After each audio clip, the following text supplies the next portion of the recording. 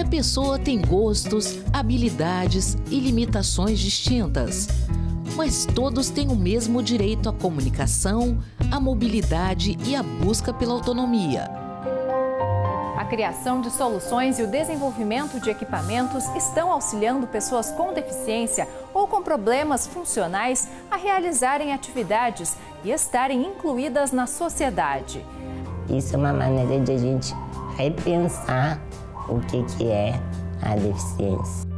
A superação de dificuldades por meio da tecnologia assistiva é o tema do TVE Repórter, quarta, oito e meia da noite.